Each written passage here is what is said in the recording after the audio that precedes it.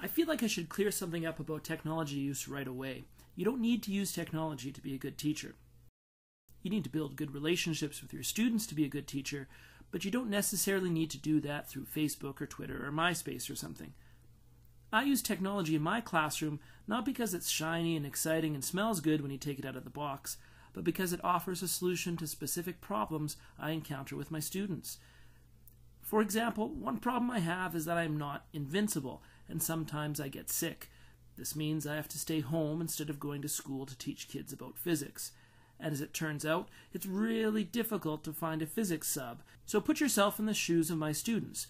Depending on how you feel about physics, you're either A, looking forward to a day of rest and relaxation, updating your Tumblr on your phone all class, or B, you're wallowing in a pit of despair because your favorite teacher is nowhere to be found and you can't figure out these physics problems by yourself.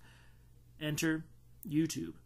I started making YouTube videos of me solving physics problems three years ago so that my students would have something to watch while I was away from school. The students watch the videos either on their phones and, or as a class on the projector, and then they try similar problems to the ones I went through digitally. This, coupled with a textbook and uh, additional instruction and the substitute teacher, is usually enough support for the students to be able to pick up a concept without me there. Of course, there's always questions, but the kids can leave those in the video comments or tweet them to me.